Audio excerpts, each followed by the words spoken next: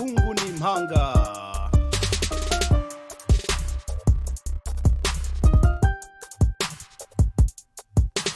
aba bahungu ni impanga bafite ibanga ryo ribaranga bafite icyasha cyo mu gahanga bafashe cyane bagwira ingoma ibaha icyasha cyo mu gahanga. Aba bahungu ni impanga ni impanga zikunda impanga ni impanga zanga muhanga. Mukura konkobotse ibirunga akoze hasi ageze muhanga we kayibanda reka nguho nde naho waba imarwa y'imbanda nta repubulika mbonye mu nduga. Aba bahungu ni impanga imiyo ngoma mbere umugara arya imiganura ngangaza bo mu birunga baramutaka baratetesha arabatoneka abahemba iryo ringaniza bamwita imana. Uwo mubyeyi n'ibindi ntazi harimo ikinani. Ubwo aba aratashye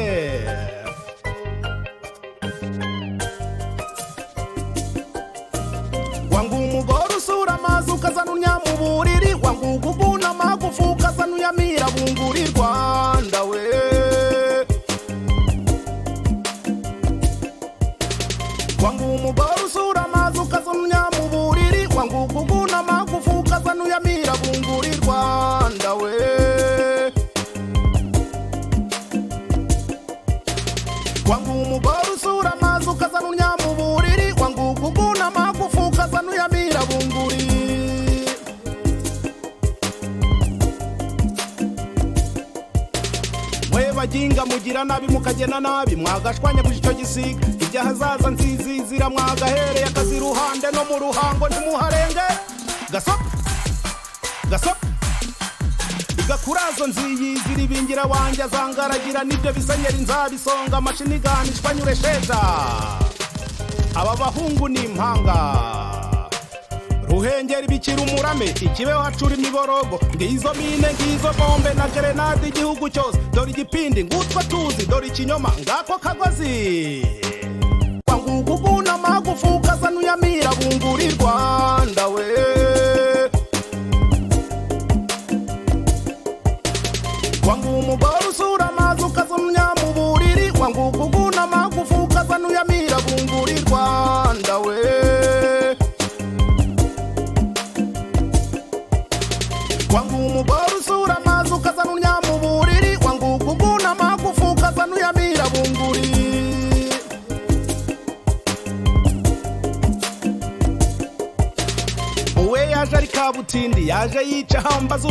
yarabiciye bicumba umwotsi. Akandoye ikavuza ubuhuha agafuni kamena uduhanga. Amagereza mu baniyanga nyungu iriya yariye benshi. Magana menshi ataha rweru igihugu cyose agikubita inkongi. Ireba yazana ngo ni urusinga. Ibi byasize ubwenge bw'abasize abonye bitarya ateba ngarama. Imiturirwa yitura hasi ubutabera butwara mu ruhago. Mbona kare wose yakuriye imahanga nta gihanga afitanye n'u rwanda. Kuri we abanyarwanda ni umwanda niyo mpamvu yibera imahanga. Walayi walayi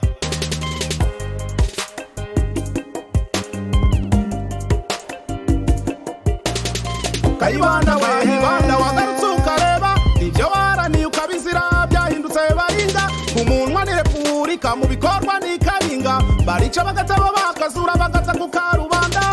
Babyara wehe wagarutse ukareba amahoro twaririmbaga yahindutse amahomvu ninde uzaducyura nawe ninde uzaduhuza iteka iyo mbwiye kava kure akora mu rwubatsi kwitsa agakora mu mutana mu bitugu nabaye nka ya nyamanza. Yashwa amatama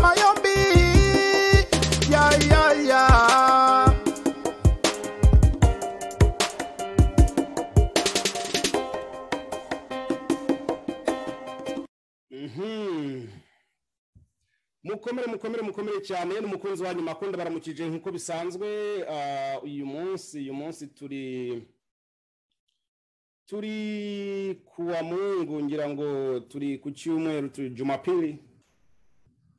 Ndagira ngo tuganire n'ubundi kandi tuganire bya bindi bikomeye kubyumva mu matwi bya bindi akenshi benshi bashobora kwita ko ari urujijo cyangwa se ari ibintu utakagombye kuvuga. Ni ibiki dushobora kuvuga? Mu gihe twubakiye inzu yacu ku musenyi. Inzu twubakiye hejuru y'icyobo umwanya wari wose ushobora kumanuka agwa muri rwa rwobo. Ntuzamenye ko iyo nzu yigeze kuhaba. Hari indirimbo hari indirimbo y'amako rero niyo ngarutseho. Nkuko nabibabwiye mu kiganiro cyatambutse ngomba kubabwira imvo n'imvano y'iriya ndirimbo. Ntabwo ibyo mvuga amako abavuga ngo ibi bintu nimubivemo ari uko numvise biri kuvugwa cyangwa se nshaka ko abantu baza kureba yica niyo amako itagira abayireba no. Ikindi mwibuke ijambo bakunda kuvuga rya rindi ryo mu cyongereza bita subscribe ni ijambo ntinya kubwira umuntu. Kuko ntabwo ndi gukora bizinesi ngo nshyireho instructions mbwira umuntu ngo kugira ngo uze kubona igicuruzwa cyanjye wifuza ni uko ugomba kwiyunga n'amako kw'iyo cano y'amako ya ndaritinya kubera ko ririya jambo akenshi rishobora kuba umutego. Ahubwo ese ibyo mvuga bifite ishingiro ku buryo hari ukeneye kubandanya kubyumva gukomeza kubyumva? Ibi ngibi nkunda kubivuga. Ariko kandi byakabaye byiza niba wowe ushobora kubisabikanya n'abandi ukabihereza abandi kugira ngo wa wundi wumva ko ari ndavuga gute se?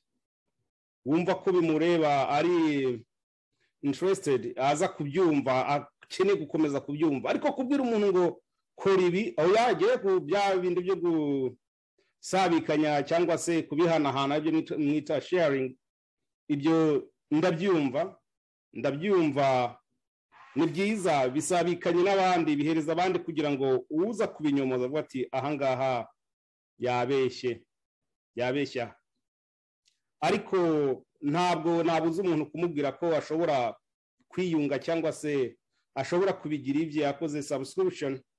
Ibyo ngibyo ndumva si icyaha ariko ntabwo ari ijambo nkunda gukoresha nubwo ndikoresheje hano.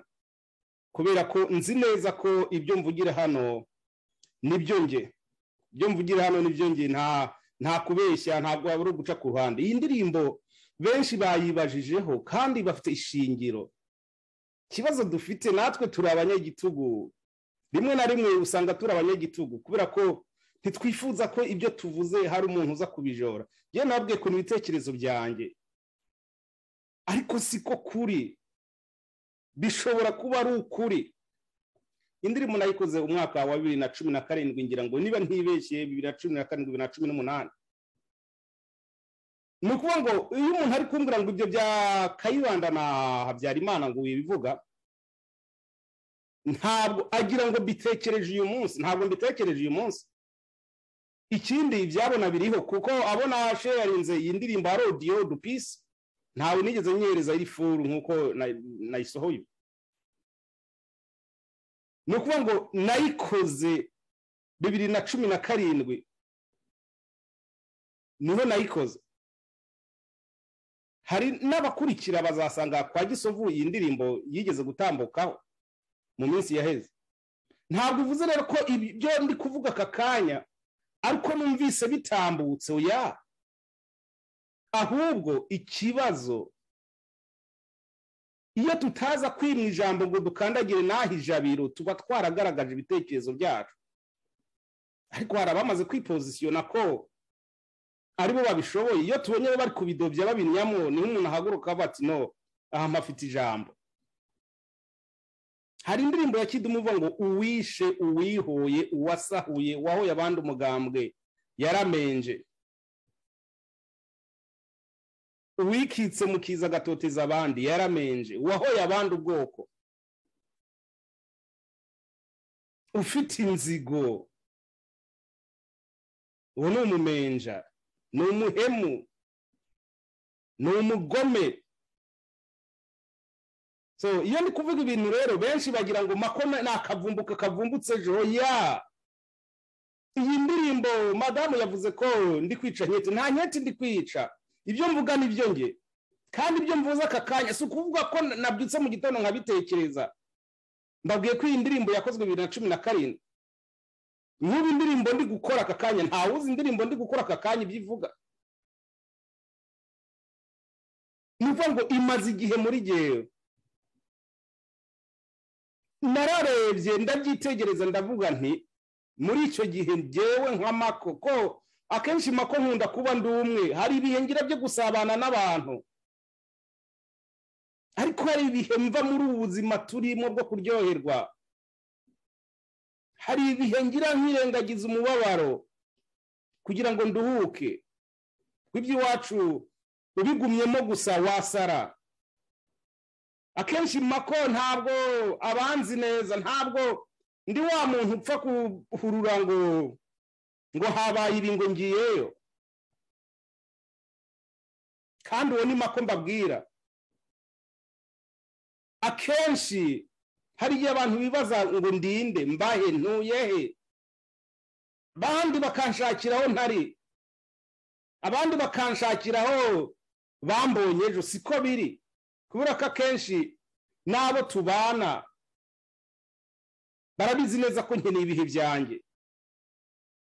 Byo gutuza byo gutekereza. Ubwo rero iyi ndirimbo nk'uko mbivuga ngo abahungu ni impanga. Ni ibintu natekereje. Narateje ndabona ni gute? Kayibanda yapfuye. Muri iyo myaka yaheze imyaka yarangiye yapfuye gute? Byagenze gute? None n'iby'ikibeho na byo ibya n'ibyo by'ubwicanyi bo muri fpr nabwo buragiye bugeze igakurazo n'ubundi. Bahisha abantu bahambye abasenyeri na wa mwana wa mukashema. Imana imubundikire.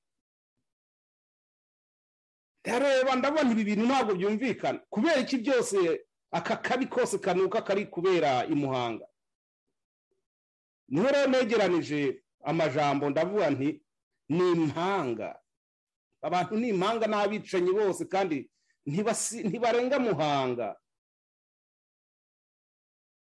Abo bantu ni impanga kuko bose bishe abaperezida. Nguko makwera ari gutekereza mbere y'uko bibiri na cumi na karindwi ajya gusohora iyi ndirimbo. Aba bantu kuba narabise impanga ntabwo ari za mpanga za ziri mu nda. Ni impanga zo mu migirire. Kubera ko aba bantu ese inyuma y'aba bantu ko habaye ibara? Ko batembagaza ubutegetsi hasigaye iki amarira hari abantu basigaye barira. Kayibanda ari mu y'abagabo. Habonetse imfubyi. Niko kwa kagame byagenze. Hari abantu basigaye barira. Hasigaye imfubyi. Kandi igikorwa cyose kibahuza ni uko bagiye batembagaza ubutegetsi n'abategetsi bakabica. Ibi bintu mubyumve. Ntabwo ari inyuro. Reba icyo ibintu wabisanisha na byo. Hakuweho ubutegetsi. Hasigaye amarira. Ibyo bintu rero kuba iyi ndirimbo ntabwo rwari urwango ntabwo kwari kugira ngo njye kugira uruhande mfana cyangwa ngire uwo mbabaza. Ariko nkava nti uyu we yaje ari kabutindi. Yaje yica ahambazure yarabiciye bicumba umwotsi. Akando ikavuza ubuhuha. Agafuni kamena uduhanga. Nyungu iriya yariye benshi. Magana menshi ataha rwera. Nyireba yazana ngo ni urusinga. Uru ibi byasize ubwenge bw'abasizi. Abonye bitarya ateba ngarama. Imiturirwa yitura hasi. Ubutabera butwara mu ruhago ngo na kare hose yakuriye imahanga nta gihanga afitanye n'u rwanda abanyarwanda kuri we ni umwanda niyo mpamvu yibera imahanga wallahi. Iyi ndirimbo rero ntabwo nayipfundikiye ngira ngo njyanishe abanyarwanda cyangwa se ngire ngo ngire uruhande mpagarariraho ko byose byabaye n'iby'iwacu. Kayibanda wagaruka ukareba.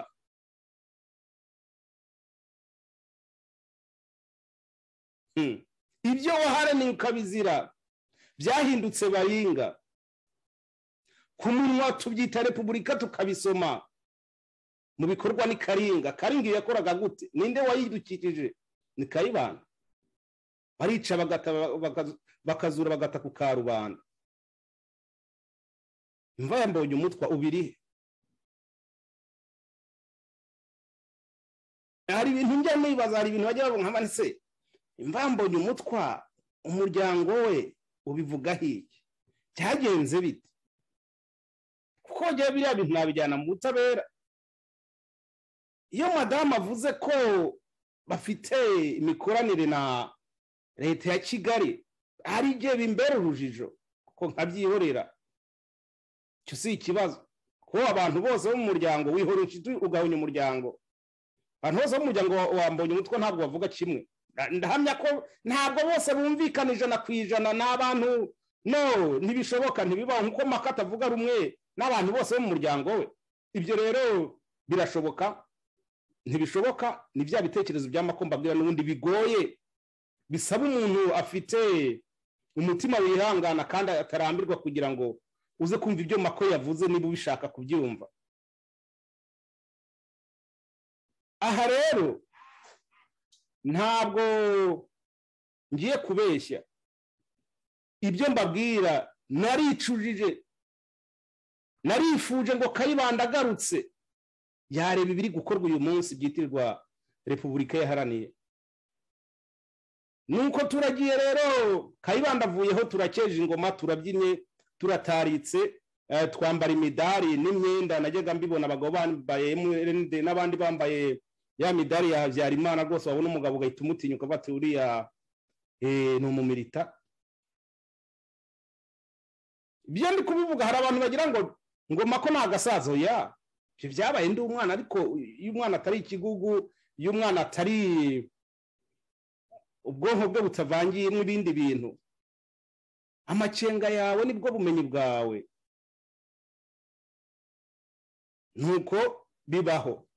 Twumva ko repubulika ni repubulika turayigina. Eh, twishimira iyo ngoma. Twabonye ibindi bitwibagiza bya bindi. Habyarimana mu ijambo navuze madamu yavuze ko ndi kwica nkete ntabwo nica nkete kubera ko ikintu habyarimana yarushije abandi banyagitugu nashingiyeho cya mbere. Ni kiriya kibuga cy'indege kucyitirira kayibanda nubwo waba umurenzaho w'uburyarya ariko ntabwo bisanzwe ku bicanyi basanzwe. Kuko ubu kiri hese. Nuko se kagame yari akunze habyarimana yari akunze kayibanda. Ntabwo ashobora kwemera ko ibyo bintu by'abahutu bishobora kwitirirwa hariya. Kirazira. Ibyo bintu by'abahutu byakozwe n'abahutu batari aba niba abanyoro ibintu by'abanyoro ni byo bigomba kujya imbere. Reka twitirire aba banyoro tujye tuvuga abanyoro tureke kubyitirira ubwoko bw'abatutsi. Nta munyoro wifuza ko hari ikindi kintu cyatera imbere. Kuko na ririya jambo ry'abavantara naryo bitwara nk'abavantara nawe mbabwiye ko natwe hari igihe twitwara nkabo. Reka tubite abanyoro nibo baranzwe n'amaraso.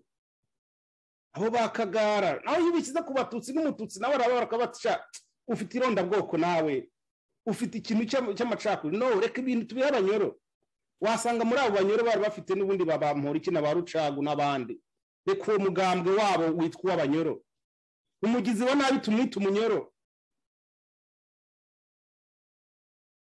Yaba ari uwo muri ba bandi bafite amazuru atatu nk'amakuru urabona ko aha ni rimwe ry'ukuri iri ni irindi iri ni irindi. Amazuru atatu. Kubera ko imana yamuhaye amazuru atatu. Ntabwo ngomba gutekereza nk'umuntu afite amazuru abiri cyangwa rimwe. Kubera iki buriya bwoko ari butatu? Iri tutsi ubu ni irihe muri aya mazuru y'amako yenda amakuru sipesiyare kwere imana impereje amazuru atatu namwe ngo afite ibizuru. Yego niba nkurusha amazuru rero umubare w'amazuru kuba ngo nkurusha n'ubwonko. Uko ni ukuri? Narabitekereye ndica ndabona nawe kubera iki aya mazuru ari atatu? Rimwe bitirira abatutsi rikaba riri hagati. Ibubamfu n'ibu- ni- ni- ni- ni- n'iburyo hakaba hari ayandi. Abo batwa n'abo bantunze n'abo bahutu. Mwita ab'iwanyu rero mbita abanyoro. Ni abanyoro niko nabivuga kubera ko kubishyira ku batutsi ku bahutu no ku batwa tuba turengere tuba dufatanyije ibintu byose tukabishyira hamwe tukabyitirira abantu.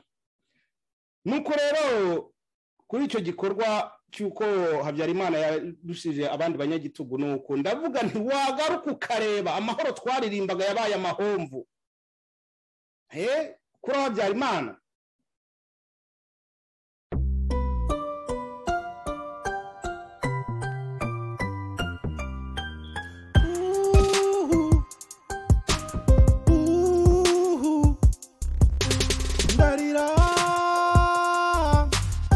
Bahungu ni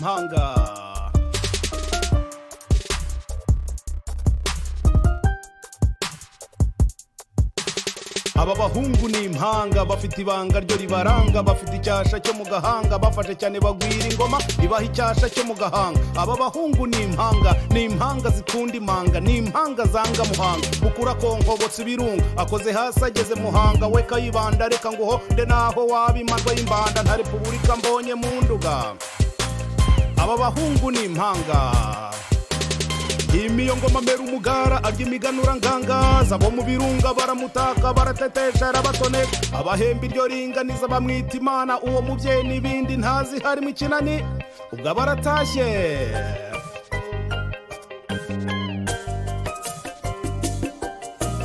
wangu umugore usura amazi ukazana unyama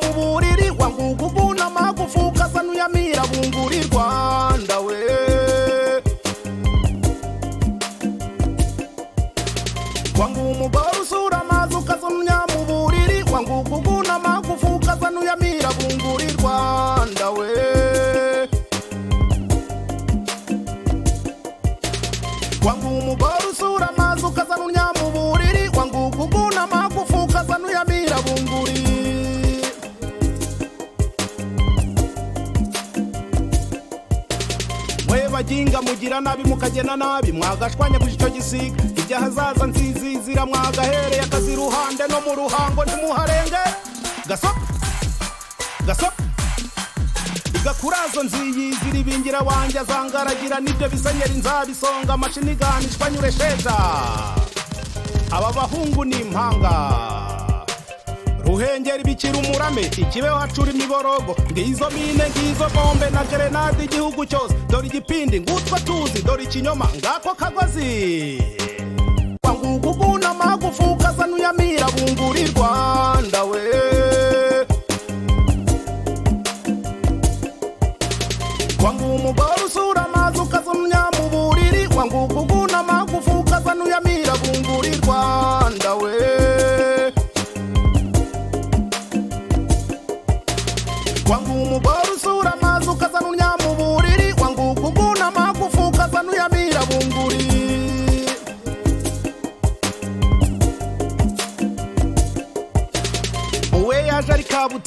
yaje yica hambazura yarabiciye bicumba umwotsi akandoye ikavuza ubuhuha agafuni kamena uduhanga amagereza mu baniyanga nyungu iriya yariye benshi magana menshi ataha rweru igihugu cyose agikubita inkongi ireba yazana ngo ni urusinga ibi byasize ubwenge bw'abasize abonye bitarya ateba ngarama imiturirwa yitura hasi ubutabera butwara mu ruhago mbona kare wose yakuriye imahanga nta gihanga afitanye n'u rwanda kuri we abanyarwanda ni umwanda niyo mpamvu yibera imahanga walayi walayi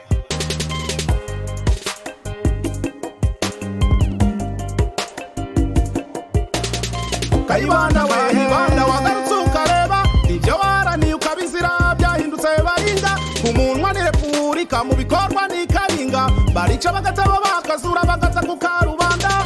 Babyara wehe wagarutse ukareba amahoro twaririmbaga yahindutse amahomvu. Ninde uzaducyura ntawe ninde uzaduhuza iteka iyo mbwiye kava kure akora mu rwubatsi kwita. Agakora mu mutana mu bitugu nabaye nka yanya yeah, yeah.